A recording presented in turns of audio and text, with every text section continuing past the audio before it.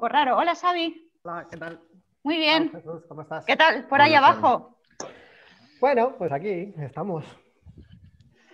Esperando ahora, ya ahora una presión que no veas, Jesús. Claro, ahora todo el mundo esperando tu sorpresa y diciendo, a ver si se calla esto. No, no, no hay nada del otro mundo. Bueno, pues eh, Sony 26, así que si queréis, empezamos. Va a empezar Xavi, si os parece, ¿de acuerdo? Y os va a explicar un poquito todas las eh, posibilidades, la iniciativa Euraccess y, y cómo contribuye, pues bueno, a apoyar lo que es eh, la movilidad y el desarrollo de carrera investigadora. Así que, Xavi, the floor is yours. Sí, estábamos diciendo por aquí que me haya entrado un recordatorio de la, de la jornada ahora. A nosotros también. No sé qué ha podido pasar. Bueno, esperemos que, que podáis ver mi presentación. Se ve perfectamente. A ver. Pues nada, como decía, bueno, lo primero es, es, eh, es necesidad de agradecer a, a Jesús y a Cristina por, por haberme, haberme invitado para que cuente aquí mi, mi rollito Euraccess, también a los participantes por estar ahí aguantando. Aunque ahora sé que, como decía, que estáis esperando la sorpresa de Jesús y que me calle yo cuanto antes, así que intentaré cumplir con eso. Eh, ya habéis oído eh, al principio, durante la sesión anterior, eh, que Euraccess y las acciones Marie Curie, pues al final van, van completamente de la mano, son, son socios necesarios en, en las actividades. Seguramente quiero pensar que la inmensa mayoría de, de vosotros eh, estáis familiarizados con la iniciativa, pero bueno, es, es de rigor empezar con esto, es una iniciativa de la Comisión Europea eh, orientada a dar soporte al personal investigador en aspectos relacionados con la movilidad internacional, pero también con el desarrollo de, de su carrera. Eh, los elementos que componen Euraccess son, eh, podríamos decir que son estos cuatro que os pongo aquí. Por un lado, eh, somos 42 redes nacionales y Euraccess es una red de redes. Eh, estas redes nacionales están compuestas por lo que llamamos centros Euraccess y las comillas van completamente a propósito porque normalmente en centro Euraccess lo que significa es que una persona, en el mejor de los casos varias personas, eh, dentro de una institución que, eh, que- trabaja en investigación, eh, se dedican a dar este tipo de soporte bajo, bajo el paraguas de Euraccess. Es decir, no son una oficina al, al uso ni mucho menos un edificio, sino que son, son personitas los, los que estamos ahí detrás de esos centros.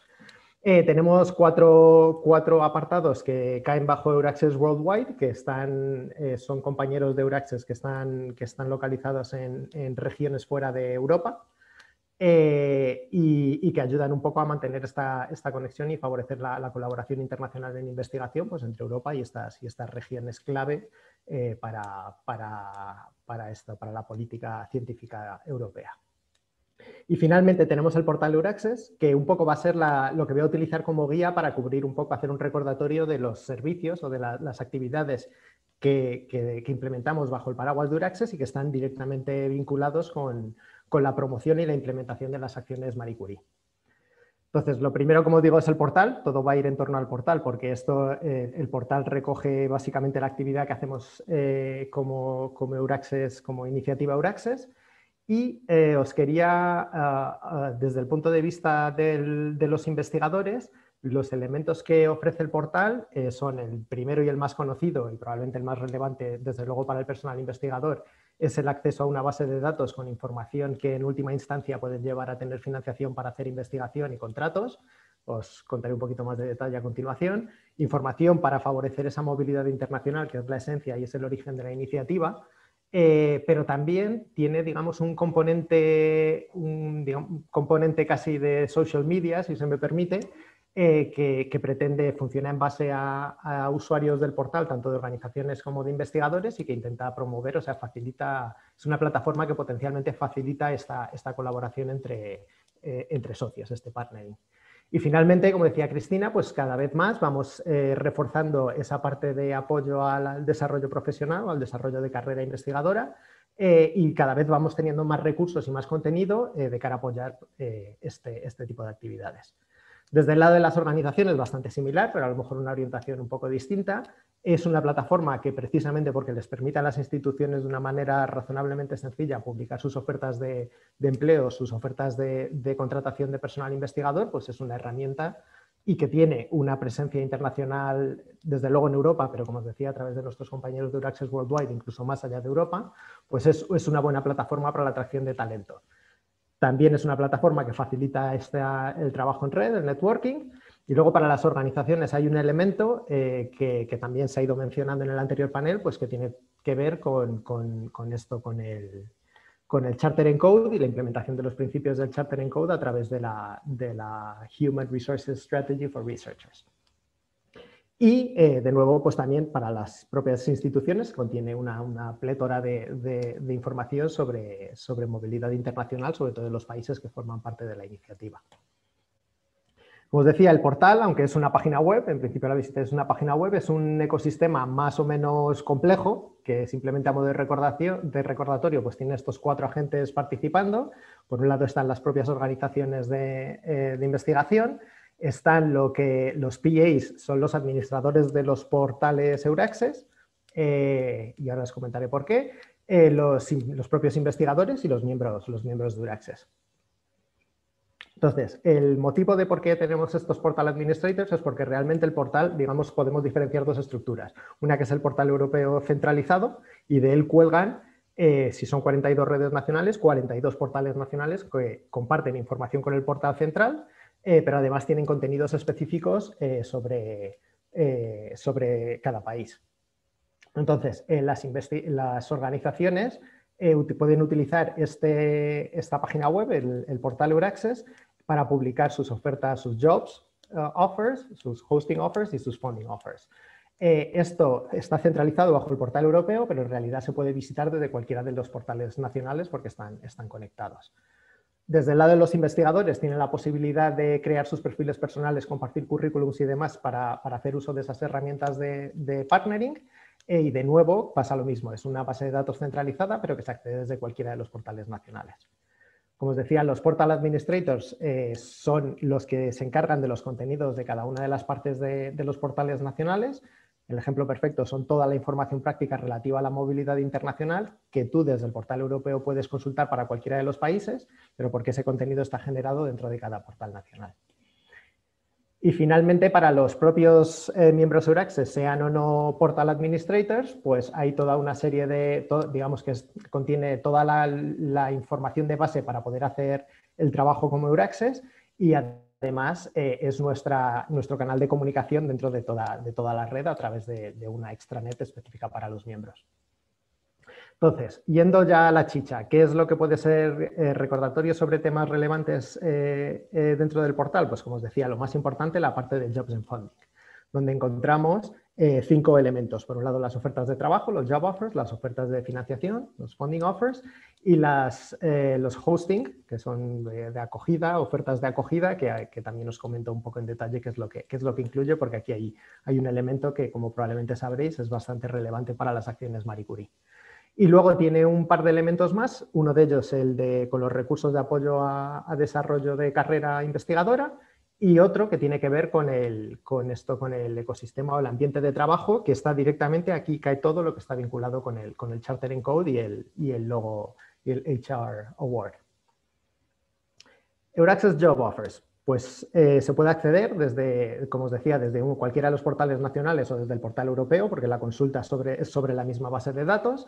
Eh, puedes hacer búsqueda por áreas de investigación, por perfiles de, digamos, estadio de carrera en el que están, eh, sector, país y luego una parte que resalto aquí por el motivo de, esta, de este evento, pues que se puede buscar también bajo, bajo, programas de financiación. Entonces esto es un pantallazo sacado precisamente de ayer, donde hay actualmente 7.000, casi 7.200 ofertas de trabajo publicadas, 167 eh, de ellas vinculadas a acciones Marie Curie eh, y eh, a Individual Fellowships y, y 33 vinculadas a CoFund.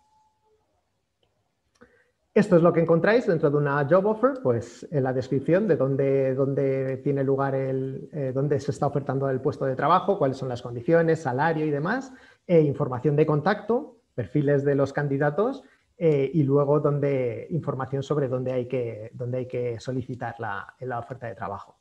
Y os incluyo ahí también que como parte, del, como parte de la descripción de la oferta de trabajo eh, tienes el, lugar de trabajo y el mapa te localiza también cuál sería el centro access más cercano que en un momento dado, si conseguís esa oferta de trabajo es en otro país y tenéis que viajar, pues si necesitáis algún tipo de apoyo eh, en los aspectos prácticos de esa movilidad internacional, pues cuál es, cuál es el contacto access más cercano para ese puesto de trabajo.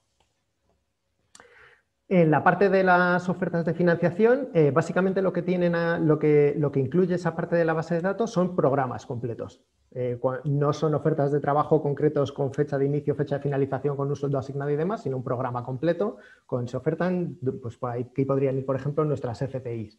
Eh, se abre el programa de, este, la convocatoria para FPIs y se ofertan mil y pico puestos que, que, se solicitan de alguna manera, pero aquí te permiten esto eh, darle visibilidad a esos programas. Y eh, también poquito a poquito, no son las que más hay, pero van habiendo más, eh, esto, bolsas de ayuda para, movilidad. la parte de los hosting offers, básicamente encontramos dos tipos de anuncios. El más relevante para la parte de las acciones Marie Curie es eh, expresiones de interés para preparar propuestas para individual fellowships. Es decir, cualquier equipo de investigación o cualquier institución tiene la posibilidad de utilizar los hosting offers para buscar candidatos con los que preparar una oferta de trabajo. Esto evidentemente no es una oferta de trabajo per se, porque hay que, hay que hacer la solicitud, te la, tiene, te la concederán o no te la concederán, y al final del camino puede que haya una oferta de trabajo, pero en el momento de hacer este anuncio, esto es realmente un hosting offer porque, porque es eh, de cara a la preparación de la propuesta.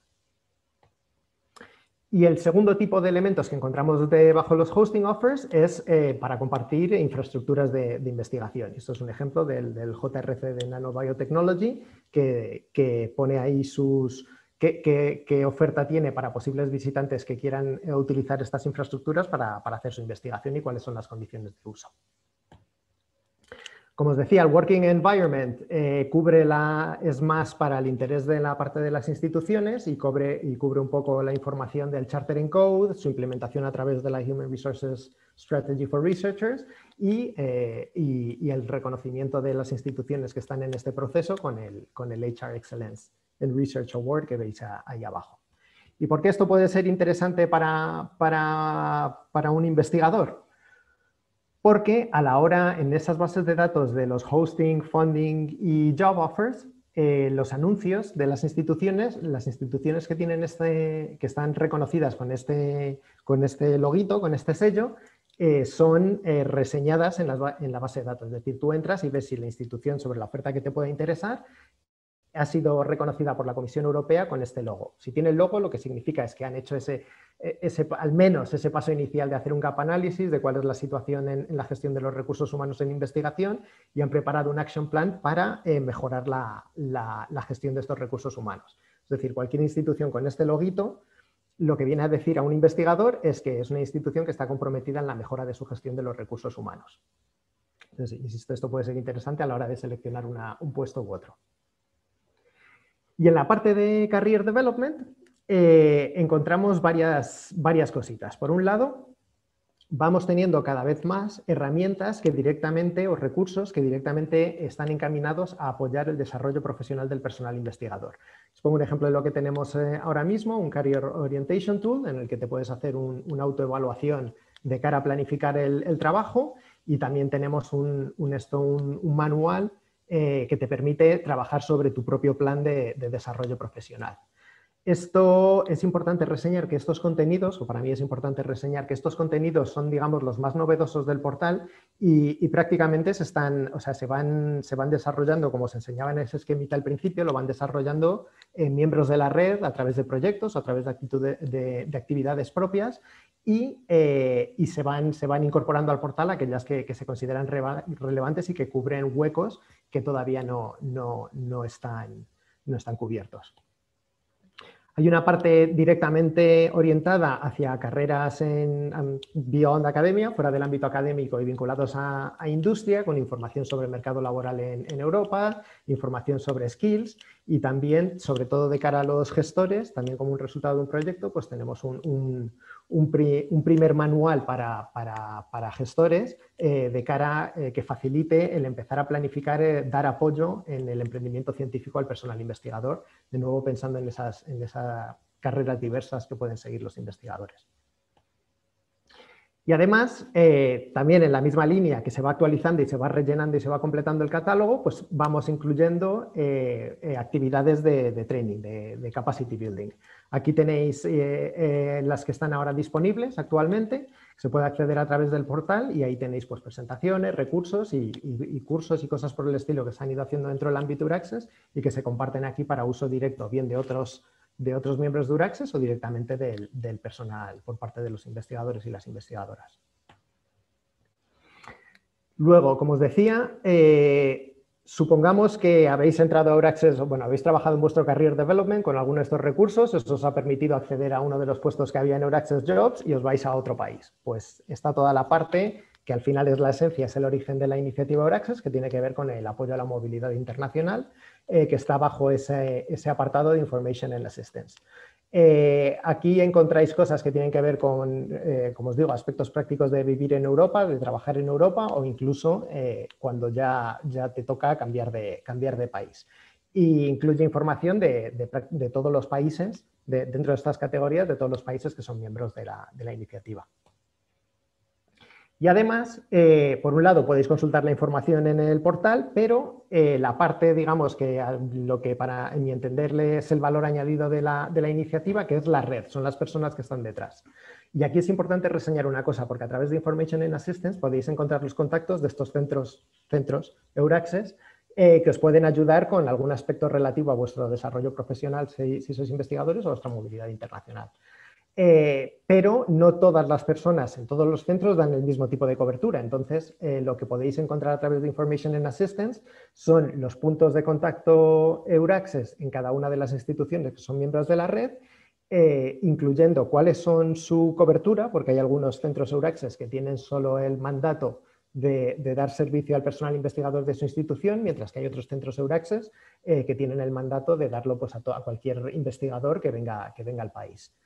Eh, y luego, más importante aún que la cobertura, es el nivel de expertise, porque evidentemente no todo el mundo puede saber de todo. Y ahí pues tenéis, por ejemplo, el ejemplo de la Universidad de Aarhus, en el que, en el que se especifica que ellos, el expertise, la gente Uraxes dentro de la Universidad de Aarhus en, Dinamarca, tienen, eh, están especializados en, en, esto, en escuela primaria, en condiciones de entrada y visados, en los, eh, las pensiones y en derechos de, de o sea, y en los permisos de trabajo. Entonces, esto es importante eh, como usuario, cuando vayas a contactar con un centro Uraccess, pues tener en cuenta cuál es eh, la cobertura que te puede dar cada uno de los centros. Y como os decía, eh, esto se construye en, base a, perfiles de usuarios, ya sean como organizaciones o como investigadores o como personal investigador individual, como personas. Y permite, esto permite una plataforma para, para partnering, para hacer colaboraciones. Entonces, eh, a través del registro, convirtiéndote en usuario del portal eh, individual o como organización, tienes la posibilidad de ver los perfiles del resto de, usuarios, eh, lo que puede llevar en última instancia a colaboraciones, preparación de propuestas y demás.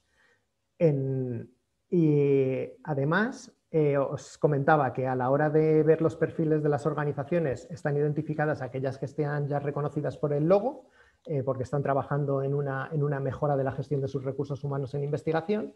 Y hay un segundo identificador que se implementó hace relativamente poco, que es ese Seal of Excellence, el sello de excelencia, en el que se reconocen propuestas de proyectos eh, que se han presentado en, Horizonte 2020, porque esto es, eh, de, o sea, se implementó, como os digo, hace, hace relativamente poco, eh, pues propuestas de proyectos que han sido evaluadas como excelentes, pero que no han llegado a ser financiadas pues por la cantidad de dinero que había en esa convocatoria.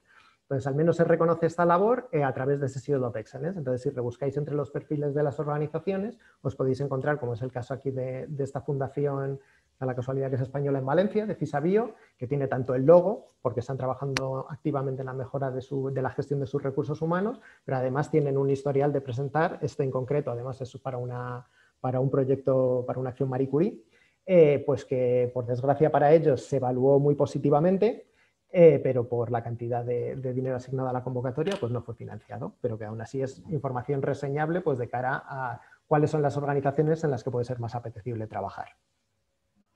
Y en la parte de los investigadores, pues si tienes un perfil como, investigador, lo puedes completar más o menos, eh, o sea, puedes incluir información más o menos detallada. eh, incluyendo el compartir el, currículum y te permite también ver el resto de, perfiles que está ahí. Como veis ahí ahora mismo, eh, con mucha diferencia entre la cantidad de información que hay en unos perfiles y en otros, pero actualmente hay, más de 25.000 perfiles individuales registrados en, el portal. Y esto era lo que lo que os iba a comentar. Pues muchas, muchas gracias, Xavi. Eh, a mí me ha surgido una duda, pero ya la comentaré más adelante si tenemos tiempo. Eh, estaba viendo que tenemos una pregunta para ti, no sé si la ves en el, en el chat, nos la, nos la hace Santi, Santiago Reyo. ¿Hay alguna previsión de mejorar y simplificar los perfiles personales en Euraxes con conexión y sincronización con ORCID y o con el CVN? Pues mira, justo con ORCID y con CVN mm, no te sé decir, pero sí te, puedo, sí te puedo decir que a día de hoy se está trabajando desde la parte de... Eso hubiera sido una pregunta, de hecho, para, para Mijaela, que en, tiempos actualmente es la Policy Officer de la, de la iniciativa Euraxes, pero que durante bastante tiempo además estuvo, fue la Portal Administrator del portal europeo, o sea que conoce muy bien esto. Entonces, lo que hay son trabajos en los que se está intentando mejorar la conexión entre eh, Europass y Euraxes Jobs sobre todo eh, intentando eh, seguir una misma, digamos, una, misma identificación de skills, de capacidades, eh, para lo que se utilizaría esta clasificación ESCO, que yo creo que, ha sido mencionada en algún mm. momento en el panel anterior. Entonces, todo esto es un trabajo muy complejo en el que están contribuyendo países, pues como el grupo que, lleva Izaskun, pero que también se está haciendo internamente dentro de la comisión porque toca distintas direcciones generales.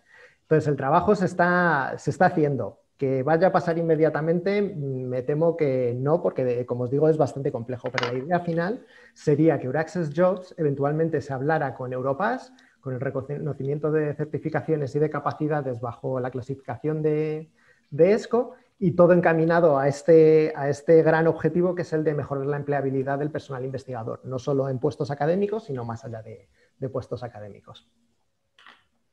Muchas gracias, eh, Xavi. Em, yo creo que como vamos justitos de tiempo, nos acaba de entrar una pregunta pero relacionada con los deadlines de MCA. Eh, realmente los, se, han, se han expuesto ya, los ha expuesto Bodo en la presentación inicial y como lo que sí que vamos a hacer es todo esto se graba, lo lanzaremos a través de ese Horizonte 2020, lanzaremos una noticia con todas las presentaciones y toda la documentación. Se espera que se está animando, que ahora tenemos, tenemos dos preguntas más, pero no me quiero extender mucho porque sé que Jesús se tiene que ir a la una. Eh, algunos de los investigadores hemos tenido que darnos de alta como autónomos. ¿Existe algo pensado en este modo de trabajo? Xavi. Uh,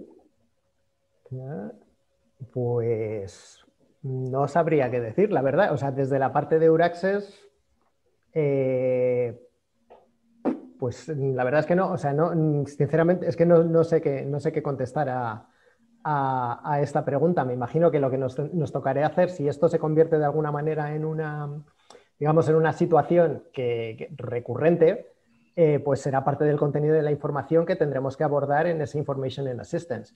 Y de hecho, eso me lleva a la siguiente pregunta en el que preguntan sobre si el Information and Assistance puede ser útil eh, para alguien que no tenga un contrato, un proyecto en, en la Unión Europea y diría que, de nuevo, vinculando con la anterior pregunta, que sí, que en realidad Ahí puedes encontrar, como os digo, nosotros intentamos cubrir desde Uraxos la información práctica que conlleva la movilidad internacional, porque se asume que la movilidad internacional es, es parte de la carrera investigadora, eh, pero hay toda una serie de elementos prácticos que, pues, que hacen que la movilidad internacional, más allá de que sea digamos, un desafío intelectualmente interesante, pues puede ser pesado a nivel práctico.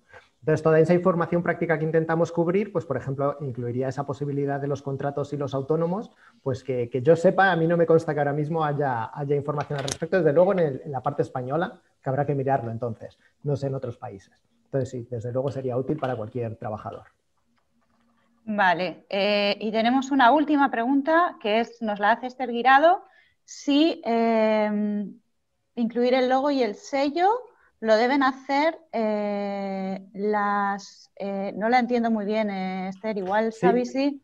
Sí, yo, creo que sé, a qué se refiere y creo que se hace, o sea, como al final todo está, conectado, desde luego por la parte del logo estoy absolutamente seguro. A lo mejor tengo más dudas con el, con el Seal of Excellence y de dónde salen ese certificado tan bonito que, que os he puesto. Pero en la parte del, del HR Award, Eh, seguro que sí, porque además no he entrado en detalle, pero el portal Euraccess a día de hoy funciona, es la plataforma sobre la que se tramitan las solicitudes de las organizaciones para que, solicitan el logo. O sea, ahí se vuelcan los action plans, hace el seguimiento, hacen las evaluaciones y demás, de manera que está automáticamente conectado. Una vez que tienes el logo, tu perfil de organización se le reconoce con, eso, porque tu solicitud se tramita a través de tu perfil de organización. Como os digo, os tengo que reconocer que el Seal of Excellence no estoy del todo seguro, lo siento. Además es que el Seal of Excellence a mí me ha llamado un poco la atención cuando, cuando lo hemos visto, porque es verdad que es, es un componente que tiene dos caras, que es tanto la entidad como el propio investigador e investigadora. Entonces, mm, me, me ha resultado curioso eh, ver eh, esa información en la propia entidad con los datos, obviamente, del, investigador o investigadora asociados a la propuesta. Pero bueno, eh, no sé, igual hay que plantearse por qué está eso detrás, ¿no? Bueno, Xavi, no lo he dicho, Xavi es el coordinador de Uraxes en FECIT, compañero, compañero mío, y de todas maneras cualquier duda podéis enviarle un correo y nosotros la verdad es que con Xavi tenemos un contacto muy directo porque muchas de las consultas que a veces nos llegan a Marie Curie, lo sabéis muy bien los propios gestores que estáis ahí, eh, relacionadas con visados y con algunos aspectos eh, concretos de movilidad, eh, tenemos la suerte de contar con él, que siempre nos echa un cable. Muchísimas gracias. Y, a la inversa, porque también al final por tiempo no lo he comentado mucho, pero como os decía, los portales nacionales tienen contenidos, digamos, específicos de los países y en, nuestro caso tenemos una colaboración muy clara con vosotros y es que tenemos un mapa de, mm. las ayudas COFAN que están en marcha en, el, en esto en España. Efectivamente, esa parte es importante también. Gracias, Xavi. Jesús, the floor is, yours. Gracias, Cristina. Vamos a, a ir un poco contra reloj. Eh, bueno, daros las gracias a todos los que estáis todavía al final de la, jornada. Esta parte de la presentación la vamos a hacer Cristina y yo. Nada, brevemente unos datos mm, generales de la participación hasta, hasta fecha de hoy aproximadamente, un poco el apoyo que hemos, eh, os hemos ofrecido desde inicio de Horizonte 2020, ver un poco pues, eh, lo que vamos a plantear para 2021 después de esta situación que hemos vivido de este año en casa y, luego, pues, eh, un poco del calendario que nos preguntabais en, el chat y, un poco para que empecéis a pensar en la estrategia de preparación y de participación en el programa en Horizonte Europa.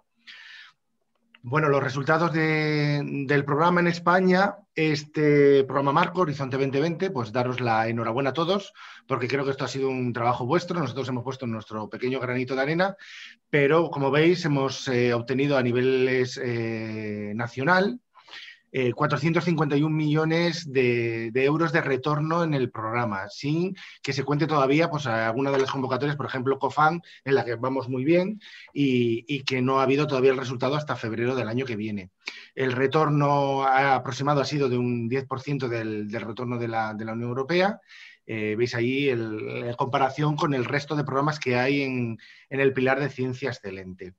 Eh, si lo comparamos con el resto de temáticas de Horizonte 2020, pues ahí veis un poco eh, financiación eh, retornada con el porcentaje de la Unión Europea. Y veis un poco ahí eh, donde estamos entre salud, entre transporte. Bueno, veis ahí un poco el, donde nos encontramos como, programa en comparación con el resto de iniciativas que hay en Horizonte 2020.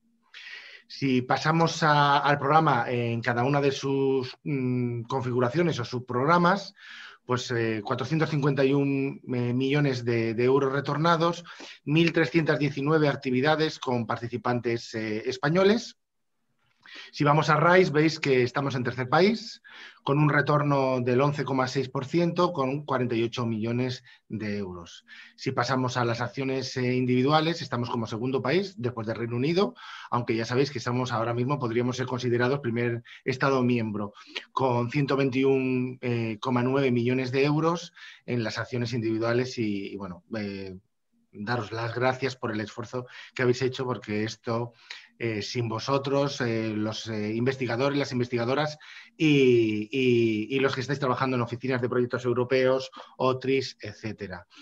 Si pasamos a ITN, estamos como sexto país, con un retorno de 199 eh, millones de euros, un 7,7% en, comparación con, el total de los 28 Estados miembros. Y si pasamos a, COFAN, pues a falta de la última convocatoria que se dará en febrero, los resultados, pues hemos obtenido un, total de 80,4 millones de euros, lo que corresponde a un 22,4 del retorno de toda la, Unión, eh, de la Unión Europea, los 28 Estados miembros, y somos pues eh, primer país en este programa, que es un poco lo que venimos teniendo desde el séptimo programa marco gran impacto estructural. Sabéis que un COFAN no es solamente un programa para, para atraer predoctorales y postdoctorales, sino es un programa muy estructurante para las eh, entidades, para las regiones y sobre todo también para, el país. Eh, en, general, como programa, eh, somos el cuarto país en retorno en, en el programa Marie Curie. El equipo, pues eh, antes éramos tres con la otra Cristina, ahora nos hemos quedado Cristina y yo, seguimos siendo el matrimonio Marie Curie y seguiremos pues eh, apoyo. En estos años, de 2014 a 2020, pues os hemos ayudado en las diferentes actividades de informativas, de difusión, el programa que desde FECIT eh, se lanzaba para la formación de, gestores, que casi todos vosotros habéis participado, resolución de dudas y luego pues la revisión de, propuestas. Sabéis que es un programa muy eh, demandante. Eh, nosotros hemos podido llegar a donde hemos podido llegar. daros las gracias por vuestra paciencia a veces, porque bueno, podéis ver el número de acciones formativas e informativas que hemos hecho en estos siete años. Eh, con más de 15.000 participantes, más de 20.000 consultas solucionadas eh, y más de 640 propuestas revisadas. Veis ahí un poco la distribución en la revisión. Eh, se lleva la, palma las IF, este último año no hemos podido revisar por la situación que hemos tenido, pero veis un poco ahí los porcentajes de las revisiones de los proyectos. hemos llegado a revisar de todos los eh, subacciones eh, dentro del, programa y que seguiremos, por supuesto, en, este programa Horizonte Europa. Este año ha sido un año diferente y nos hemos tenido que un poco amoldar a, esta virtualidad en todas las actividades, como NCPs o como cualquier otra actividad. Y, hemos hecho pues, diferentes actividades eh, informativas con mucho impacto, como por ejemplo la jornada de hoy, eh, tuvimos casi 1.900 asistentes a los dos Infodays de, las IEFs este, este verano y luego pues, hemos tenido actividades más eh, cerradas, más pequeñas, más enfocadas, como por ejemplo, pues, eh, hablemos de comunicación e implementación, problemas que encontráis en los proyectos con muchos de los gestores de universidades y creo que fue una actividad muy interesante. Hemos tenido un 40% más de consulta y, por supuesto, al tener todo esto virtualizado, el número de asistentes a las jornadas se ha incrementado muchísimo. Para 2021, Cristina. Vale, bueno, yo ya me habéis escuchado demasiado, así que esto que lo cuente todo Jesús. Yo lo único que quería comentaros es que efectivamente seguiremos facilitando. En principio, esto es como el propio programa Marco, esto no es una revolution, esto es una evolution. Entonces, seguiremos facilitando las mismas em, actividades y los mismos servicios que venimos haciendo hasta ahora. Es verdad que yo creo que de esta situación creo que casi todos hemos sacado en claro que eh, la parte online ha venido de alguna manera para quedarse y por lo tanto yo creo que también va a ser bueno el encontrar un equilibrio entre las actividades presenciales y la propia formación online que hemos visto que también nos permite incrementar el impacto de una manera eh, bueno, muy considerable. Em, en cuanto a la revisión de propuestas, eh, comentaba Jesús que este año las IF no las hemos podido revisar, en primer lugar porque hemos bajado de, de 3 a 2 y eso ha hecho que, era, que fuera ya eh, volver a, años anteriores donde nos resultaba muy complicado. Y segundo, porque eh, yo misma pienso, y esto es algo que tendremos que madurar también en un par de meses que tenemos como mucho, como mucho de, relativa tranquilidad hasta que ya nos pongamos otra vez todo con las aperturas de las convocatorias, tenemos que revisar qué actividades tienen más y menos impacto. Es decir, Em, la revisión de proyectos como son las redes ITN, como son los proyectos RISE, por supuestísimo, como son los proyectos COFAN, tienen muchísimo impacto. La revisión de los proyectos individuales, yo sigo diciendo que cuando España es el primer, segundo país en participación con 1.100, 1.200 propuestas enviadas, llegar a revisar 40, 50 proyectos, que no es ni el 5%, incluso a veces menos, no tiene un impacto realmente visible, yo creo que ni para los investigadores, ni para el personal que lo solicita, ni para las propias instituciones. Entonces, yo creo que ahí tenemos que encontrar alguna manera, vía talleres o alguna manera concreta, de ver cómo lo podemos eh, hacer o si se tiene que mantener o no. En ese sentido, cualquier tipo de feedback que nos podáis ir enviando, os lo agradecemos. Es verdad que cuando revisamos las propuestas, nosotros os enviamos enseguida, cuando cierra la convocatoria, una, solicitud, una encuesta, para que nos digáis efectivamente que todo es mejorable en esta vida, entonces, ¿qué podemos mejorar? Y ya hemos tomado en consideración algunas de las cosas que nos habéis dicho, como por ejemplo cuando revisemos las propuestas, mantener, tras enviar la revisión, una reunión con los participantes. ¿vale? Entonces, como entenderéis, eso a nivel de, de proyectos de ITN, de Staff Exchange, bueno, ya estoy diciendo los nombres incorrectos, pero bueno, de Doctoral Network, de Staff Exchange y de COFAN es asumible. Bueno, porque son cifras asumibles entre comillas. Hacer eso con proyectos individuales sería eh, imposible. Entonces, bueno, que sepáis que cualquier feedback que nos deis eh, positivo hoy, nosotros lo estudiamos y lo analizamos.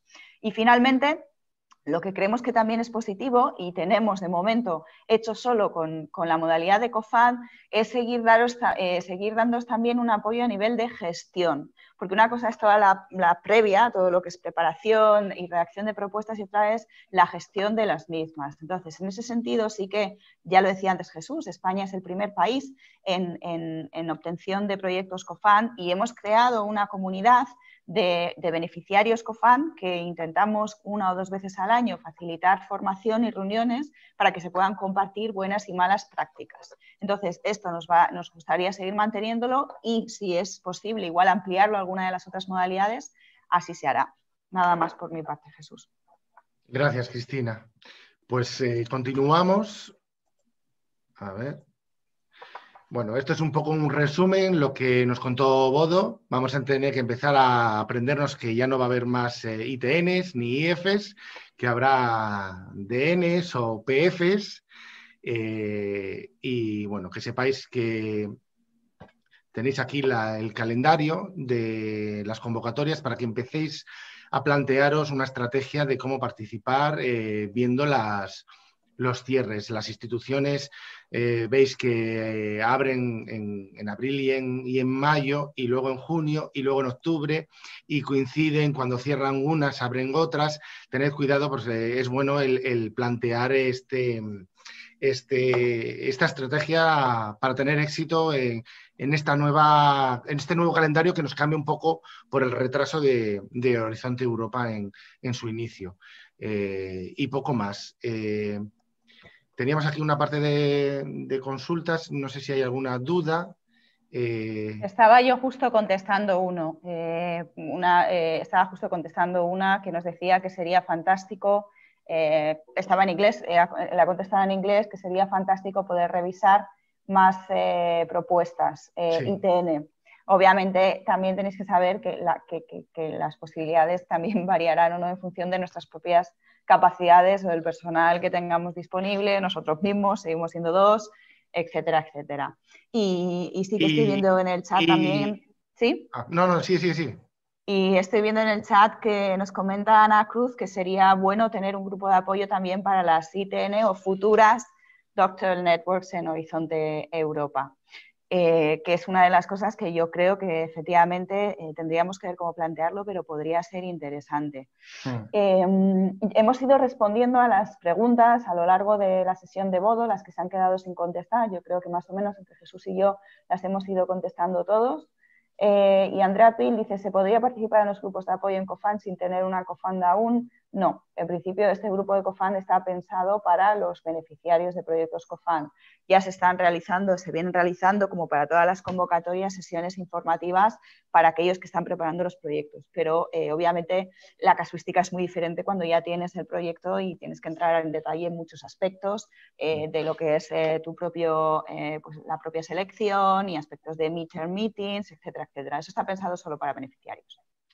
Gracias, Cristina. Pues nada, yo la última diapositiva quería, bueno, daros las gracias y, y felicitaros la Navidad. Eh, sé que hay alguna por ahí que quiere que me disfrazca de elfo. Creo que por ahí me lo ha pedido Sane, pero esta vez no va a ser posible. Eh, nada, eh, muchas gracias a todos. este año ha sido muy raro, esperemos poder veros en persona, os echamos mucho de menos y prepararemos nuestro nuevo Christmas. Este es el del año pasado, pero nada más. Eh, desearos una feliz Navidad y rara.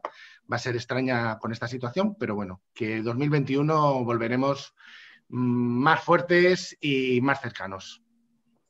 Bueno, muchas gracias. Chao. Que tengáis un buen día. Adiós.